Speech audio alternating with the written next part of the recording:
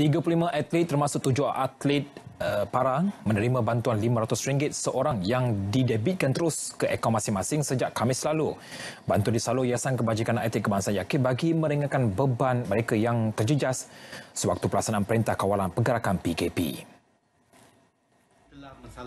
Menurut pengurusinya Datuk Nurul Arifin Abdul Majid, bantuan disalur secara berperingkat. Ia bagi meringankan beban ahli terkesan PKP, terutama mereka yang hilang punca pendapatan seperti peniaga kecil-kecilan, pemandu teksi dan membuka kelas latihan.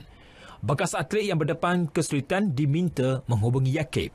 Sekarang yang saya hadapi sekarang ini, terutama sekali ketika perintah